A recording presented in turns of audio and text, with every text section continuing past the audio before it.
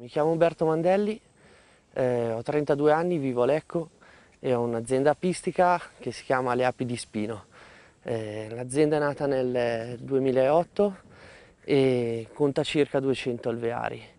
Eh, faccio apicoltura nomade e produco miele vergine integrale, monoflora e mille fiori. A fianco alla produzione di miele una collaborazione con un'altra azienda per la selezione e la produzione di api regine di razza ligustica. L'azienda è nata dalla passione per questo lavoro che ho imparato in un'altra azienda e mm, sono laureato in agraria. Nel contempo ho lavorato anche come tecnico presso un'associazione apistica regionale facendo assistenza tecnica alle aziende eh, della provincia di Como, di Lecco di Sondrio. Diciamo che a un certo punto eh, ho deciso di mettere in pratica tutto quanto avevo studiato e imparato eh, in un lavoro che mi desse un po' più di soddisfazione mio personale.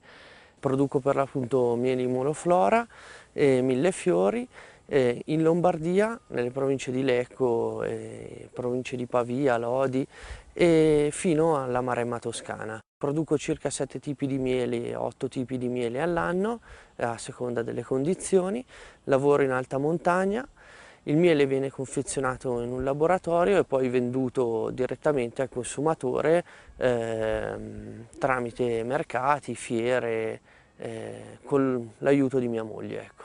L'azienda appunto commercia direttamente e il contatto con il cliente ha permesso di migliorare e anche di andare incontro proprio alle esigenze stesse dei clienti.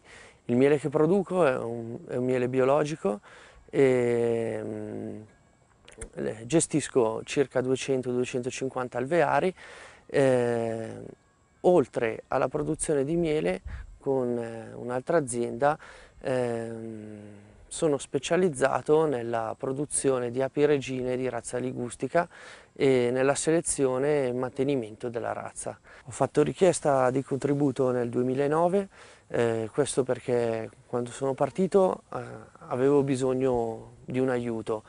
Parte del finanziamento è stato eh, dedicato al, all'acquisto eh, di un mezzo consono a, eh, a fare questo, appunto, questo, mestiere e invece parte eh, sempre del contributo è stato utilizzato per eh, l'acquisto eh, dei terreni che prima erano in affitto ecco, e adesso sono di proprietà dell'azienda.